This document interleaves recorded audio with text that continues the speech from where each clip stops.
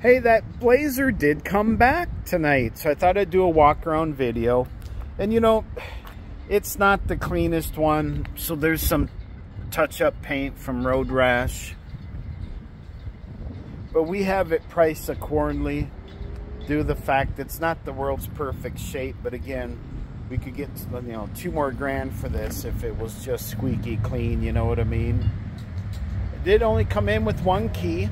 I'm always really honest with all my videos and and quality of a car. It does have scratch up, scratch touch up paint pretty much all over.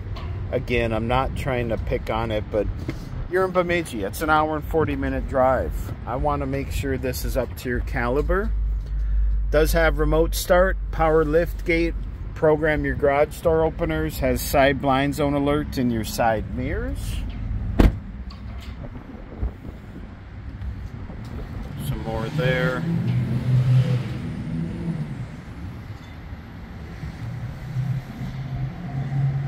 We did have the lift gate painted.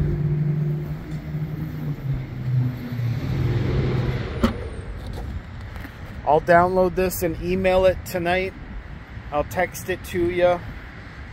Go ahead and reply if by chance you are going to come see this tomorrow.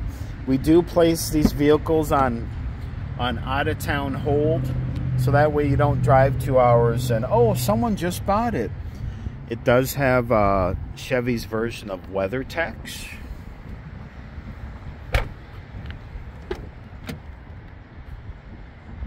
let me know. Troy here with Mills GM